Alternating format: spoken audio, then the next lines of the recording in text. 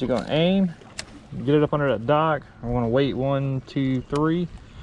This dock's in seven. So let's be honest, skipping jigs, shooting jigs, all that, it's it's not complicated.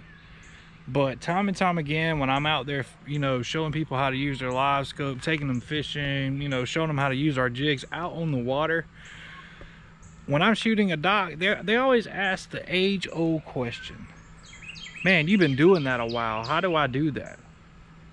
Well, I'm, I'm here to tell you it's not very hard. And in, in today's video, you're gonna know how to skip a dock. So let's dive right into it. Now, first off, one of the most important things when skipping or shooting a dock, whichever you wanna call it, you're either gonna skip your lure up under or you're gonna shoot it through a hole in the dock that, you know, your lure shouldn't be going in the first place is your rod and reel setup. Now, my favorite right now is a five foot ACC crappie sticks, and I have it paired up with an Octane 10 reel with four pound vicious line. And on the meat end of it, you know, I love a 132 ounce jig head and a little minnow or a little stinker. They skip really well, but if I really want to get really far back in the dock, I will switch to the beaver tail snipe beaver because it's got a flatter surface and allows me to actually skip. But when I'm just shooting and just trying to get up under stuff, there's nothing beat a Crappie Man green little minnow. Now one of the most important things is the setup. You know, we covered the rod, we covered the lures. Now let's get this out of the way because I already know this is gonna come up in the comments. You're scared of hooking your finger like that. Now, I'm gonna tell you, if you do it the way I'm about to show you, you have 100% chance not to hook your finger. So don't be scared of it. Is I've got this tied on a loop knot. The knot does not matter at all. You want to grab your jig head. Have that hook angled like this. There is absolutely no way to hook yourself when you let go. Do it one more time. The, the hook's gonna go away from you and it's gonna go, you know, the way you want it to go and you're not gonna go into your hand. There's absolutely no way. So that's the first step of being able to skip. The second step is holding your line. I've got the line right here on my finger. That's the next important part. Is you want it so when you let go of this, this goes with it. I didn't move my finger at all.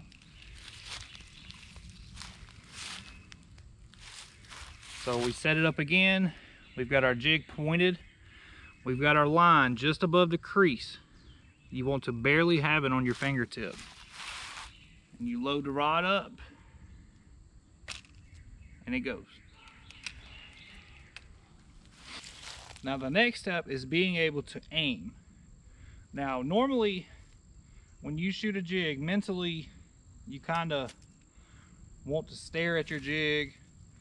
You want to look at your jig to make sure it's lined up. You're out there like a sniper in Call of Duty trying to line your jig up and shooting it.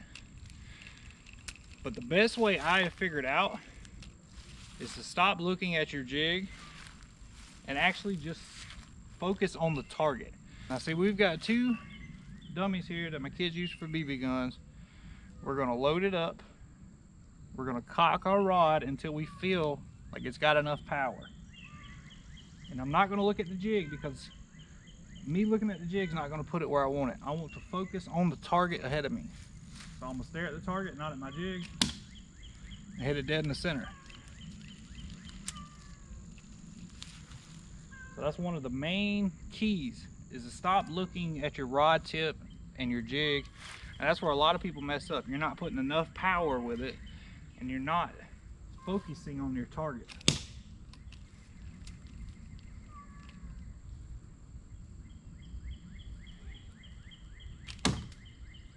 Dead in the head. I didn't look at the jig at all. All I did was look at the target. So I, am to show you how this works, like your body will adjust. Like you're not gonna do that the first time, be like, oh, I'll pull up to a dock and oh, I missed him. Now I'm hung up in the tree. You've got to focus on your target. And it's gonna take practice, the timing and everything. But if you put the time on the water to do this, that's when you learn how to do it. So that's how you skip a jig. That's how you put your jig in places it should not go. And you'll see in this video that if I didn't do this technique, I wouldn't have caught the big fish that I did.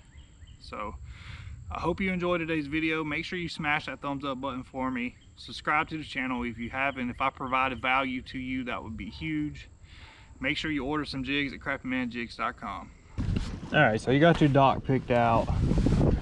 You're gonna come up here, you're gonna figure out an angle that you can fish. There's beams on the front of this dock and there's beams on the back, but from the looks of it, it doesn't look like there's no beams on the side.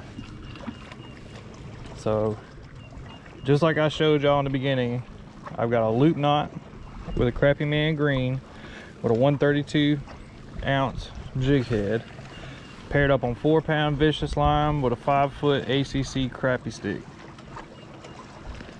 So we're just gonna take it, we're gonna load it up. We're gonna pick our target. We're not gonna stare at the jig while we do this. We're gonna let the jig do its work and you're gonna miss. See, I, I just missed then. But you're gonna aim, get it up under that dock. I'm gonna wait one, two, three. This dock's in seven foot. I'm targeting four foot.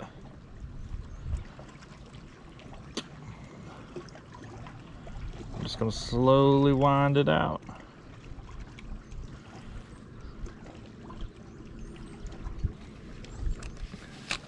No go on that one. So we're gonna try a different spot on the dock. Let it wind down just a hair. Keep our boat in the optimal position that we can even with the wind. Had a little little tap right there.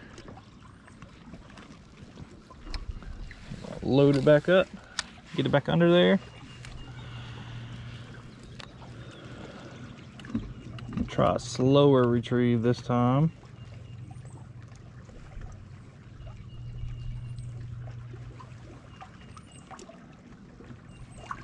All right guys i caught one off camera but it's off that same dock. There's just five or six big ones just like this one. This one weighs a pound 80 up under that dock and the only way you can get to it is the way i explained and the way i showed it how to get it up under that dock i hope this little quick little video showed you you know something new something something great skipping docks is an art and it takes time and you're going to fail and then you're going to succeed so I believe in you.